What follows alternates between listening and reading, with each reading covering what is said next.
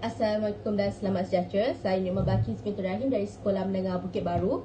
Hari ini saya akan memberikan pendapat mengenai sebuah buku menarik yang bertajuk Dari Orion ke Polaris. Menarik dan unik bukan tajuknya? Buku ini adalah hasil karya Rili Fizan, seorang penulis yang amat saya minati. Buku ini mempunyai sebanyak 717 muka surat. Buku ini juga merupakan buku buat semula dari novel asal Rili Fizan yang bertajuk Bintang Hati Saya. Okey, buku uh, baiklah. Buku ini menceritakan kisah Adriana yang merancang untuk memulakan misi mencari Hakimi Adam Song yang terhilang sejak 6 tahun yang dahulu. Siapakah Hakimi? Hakimi merupakan sebintang polaris yang banyak mengajar Adriana erti kehidupan. Hakimi juga merupakan jejaka yang berjaya mencuri hati milik Adriana.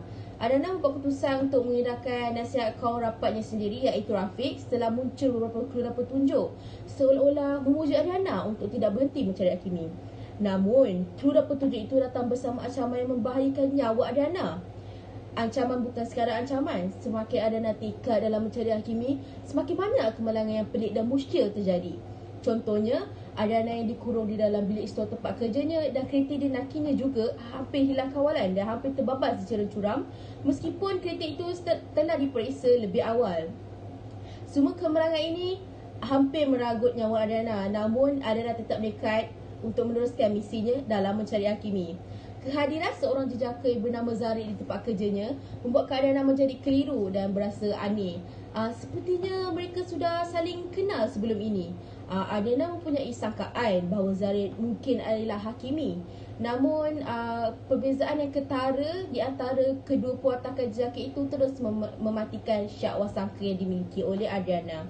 Peluang hadir buat Adriana apabila kau rapatnya Nita bercadang untuk buat majlis resepsi dan majlis perkahwinan di Bandar Mutiara memudahkan dirinya untuk mencari dan menyiasat kehilangan Hakimi. Ketibaannya di Bandar Mutiara menemukan dirinya dengan Tilofa. Siapakah Tilofa? Tilofa merupakan adik angkat Hakimi yang juga mempunyai tahap keobsesan yang sangat tinggi terhadap Hakimi. Tinofa memberi amaran kepada Adana untuk mengundur diri dan memulangkan Hakimi membuat keadaan semakin keliru. Dan di Bandar Mutiara jugalah baru Adana buat tahu bahawa Zarid merupakan salah seorang ahli kelab pemati bintang dengan kod namanya Canopus. Mengikut novel asal, novel ini terhenti di sini dengan perakhiran yang amat tragis. Apabila Adana dapat tahu kehilangan Hakimi sebenarnya berpunca dari rakan baiknya sendiri iaitu Rafiq.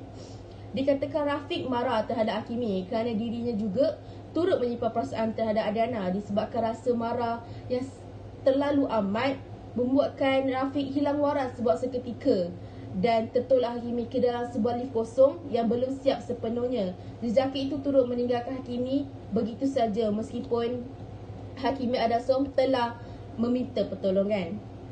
Namun, mengikut novel buat semula dari orang kepolaris, buku ini tidak terhenti di sini.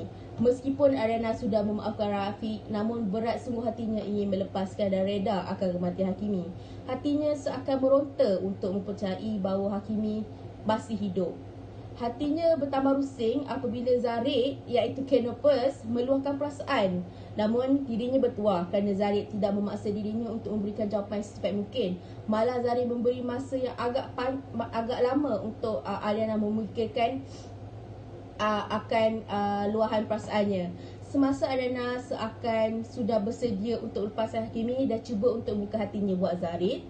Tiba-tiba Zarim Pulawa Adana menyertai uh, jelajah kejar Bima Sakti. Yang sememangnya seorang yang minat mencerak bintang dan pecinta astrologi terus setuju tanpa berdolak dalih meskipun dirinya berasa agak hairan kerana pelawaan itu adalah secara tiba-tiba. Uh, persoalannya terjawab setelah dia melihat susuk tubuh yang amat dikenali dan amat dirinduinya. Dia pasti susuk tubuh itu adalah milik Hakimi Adasom yang telah mati uh, 6 tahunnya dahulu dan ia terbukti benar apabila mereka bertedangan mata. Hakimi Adamson sebenarnya masih hidup dan dirinya telah menjadi cacat atau lebih tepat lagi Hakimi telah full, hilang fungsi kedua belah kakinya impak daripada jatuh dari tempat yang tinggi. Niatnya membawa diri kerana tidak mahu Adriana melihat dirinya yang amat kasihan itu. Uh, namun jika benar jodoh pasti bertemu jua hasil daripada pengorbanan Zarid iaitu seorang sahabat yang agak rapat kepada Hakimi Adam Song sendiri dua hati yang merindui akhirnya bertemu jua. Dan setelah dipujuk Adriana, Hakimi uh, setuju untuk memulakan kehidupan baru bersama Adriana.